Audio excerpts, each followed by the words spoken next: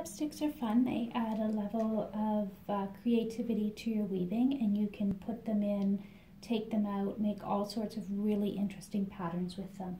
In this case, we're going to be doing a honeycomb. It requires two pickup sticks. One can stay in the whole time you're weaving. The other one will need to come in and out. In this particular pattern, we're going to start with two up. So we put our heddle in down position first. You can see all my holes are down, all my slots are up. So I'm going to put two on, on top of the pickup stick and then I'm going to work my way across with three down, three up, three down, three up, all the way across. You can see why a point is nice on a pickup stick, but if you don't have an actual pickup stick, an extra shuttle works as well.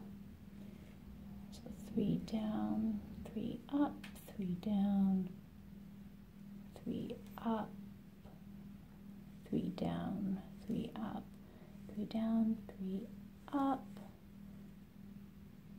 three down, and then we're just going to put the last two on top just like it was here and that gives us a really nice border. Now when we actually get to the weaving, we're just going to slide this to the back we are in our up shed, when we slide our stick forward, it brings all those threads that are on top, slides them up into that upper shed. So if you if you could see underneath, you would see a bunch of holes and we'll change the camera so that you can actually see that as well.